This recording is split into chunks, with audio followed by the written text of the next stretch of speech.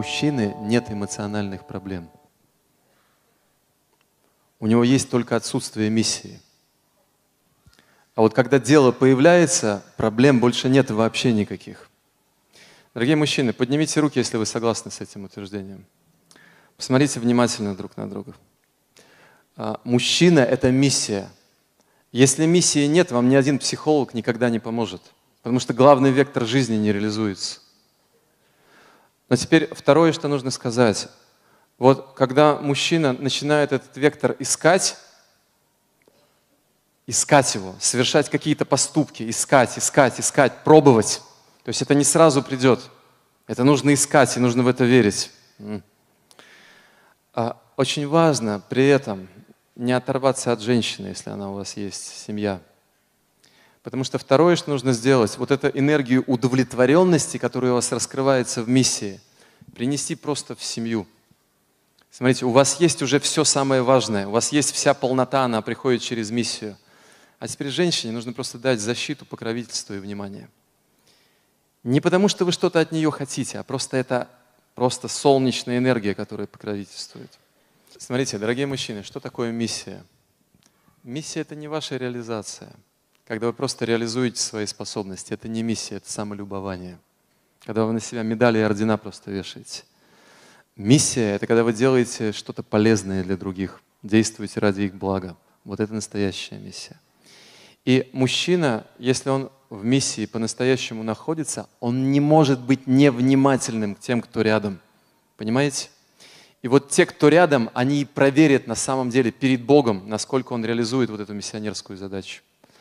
Потому что миссия – это дать благо очень многим.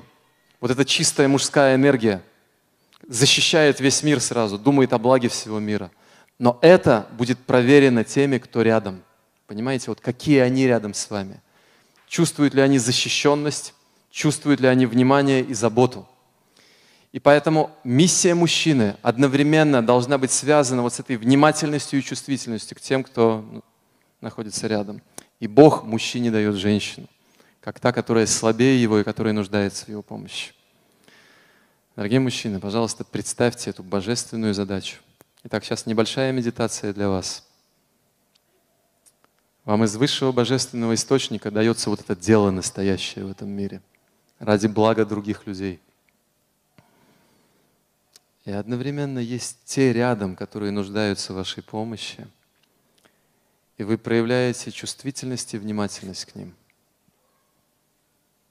Я прошу вас подумать, что вы при этом чувствуете.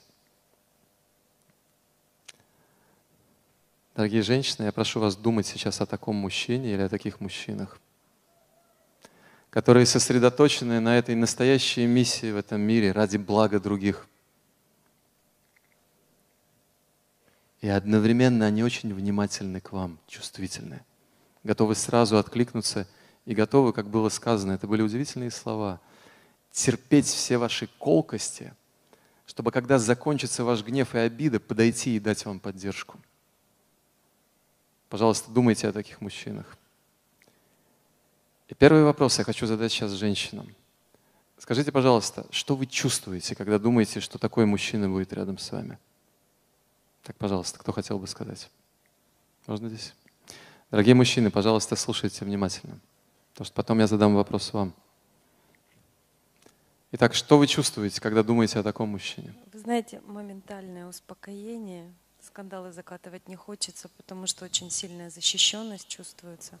И даже вот так подумала, а вот да нет, не хочется даже в шутку. То есть настолько чувствуется защищенность и опека, что ну, и хорошее сразу настроение, и такое вот умиротворение, спокойствие, благодать. Так, спасибо очень, большое. Очень спокойно. Спасибо. Благодарность, э, такое чувство нежности, трепета какое-то, очень большое уважение. И еще такое возникло, что хочется быть зарядным устройством. Чем быть? Зарядным устройством. Зарядным устройством. Да, да, чтобы подзаряжать эту батарейку, чтобы она не утихала. Да, женщина тоже хочет защитить весь мир. Она заряжает мужчину на это и отпускает его. А, я хочу спросить мужчин, а что вы чувствовали сейчас, когда женщины говорили? Ну, сейчас мужчины уже говорят. Да? Так, что вы чувствовали, когда... Так, ну давайте. Хочется еще больше любить, еще больше заботиться, еще больше внимания. Мы вас любим, женщины.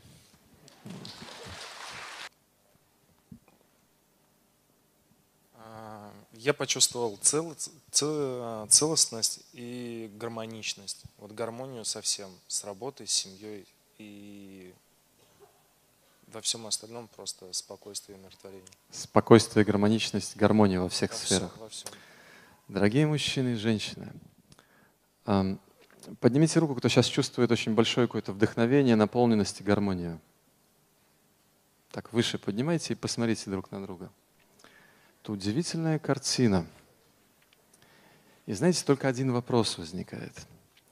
Итак, мы наблюдали в нашем зале, как появлялись настоящие мужчины и возникали настоящие женщины. Вы сейчас чувствуете эти энергии в себе? А поднимите руки, кто чувствует в себе вот эту энергию женскую или мужскую, ну вот чувствует это. Так, итак, у нас возникает только один вопрос. Мы наблюдали, как в этом зале появлялись настоящие мужчины и настоящие женщины. Как настоящие мужчины инициировали настоящих женщин, пробуждали их женскую энергию. А женщины инициировали настоящих мужчин, пробуждали их настоящую мужскую энергию. И знаете, какой вопрос остался? Это самый серьезный вопрос. Знаете какой? Кто первый начнет?